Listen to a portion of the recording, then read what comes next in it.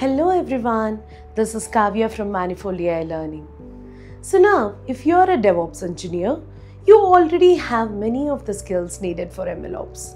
But the question is, how do you bridge this gap? That is, how do you go from deploying the applications to deploying the machine learning models?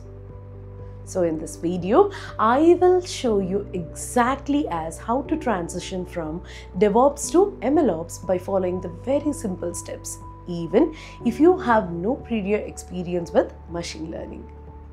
So guys, let's start with mastering the roadmap.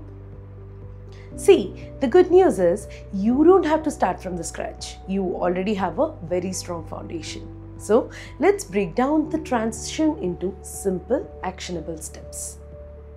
Starting with the step one, that is understanding the core differences. So, when I say as DevOps, it actually focuses on the software deployment and infrastructure. But when we talk about the MLOps, it's actually a little complicated. It focuses on deploying and maintaining the machine learning models. In MLOps, you will come across the additional concepts like data pipelines, model versioning, monitoring model drift, and retraining workflows. As you can clearly see, MLOps is an advanced DevOps for machine learning projects. Okay? Now, I feel that you're clear with the differences. Let's move on to the step two that is, leverage your existing DevOps skills. So from DevOps, you're already familiar with the concepts like CI/CD pipelines, correct? Now in MLOps, we apply the same concepts for applying the automation to ML models. Then we have that Kubernetes and containers. In MLOps, we actually apply the same concepts for scalable deployment of models, that is ML models, correct? Then moving ahead, we have clouded infrastructure as code. So in MLOps, we use the same concepts for creating the infrastructure for ML model training and deployment. And lastly, we have got monitoring and logging. So the same principles of monitoring and logging is applicable in MLOps with additional concepts like tracking model drift and accuracy. As you can clearly see that most of your core skills is actually used as a strong foundation for MLOps, which actually gives you an edge when you're planning for transition. And as I mentioned earlier that you also need to pick up some of the MLOps specific skills. So let's start with the important skills to learn for this. First is machine learning basics. It's impossible, guys. It's impossible for you to move to MLOps if you do not have the foundational knowledge.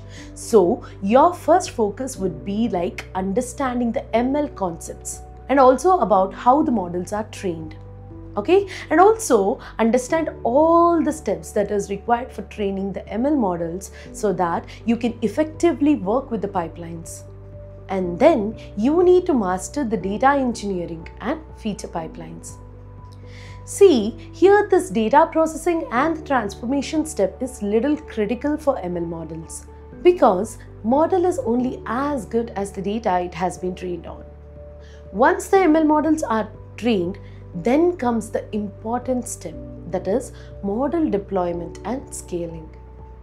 In order to perform the efficient deployment and scaling, having the knowledge of tools like SageMaker, MLflow, TensorFlow Serving, and Vertex AI will be very much helpful.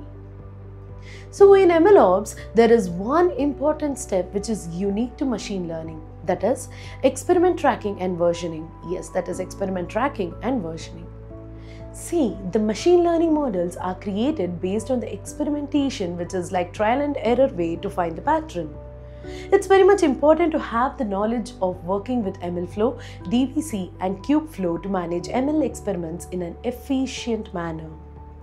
And lastly, we have model monitoring. Yes, here you need to understand as how to track the model drift, concept drift and also to ensure that the model performance over time.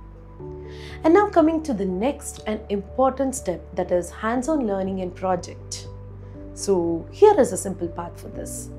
Take an intro to ML course to grasp the fundamental concepts. and then build and deploy a simple ML model using Docker, Kubernetes, and CI CD pipelines. And after that, work on end to end MLOps project using cloud platforms like AWS, GCP, or Azure.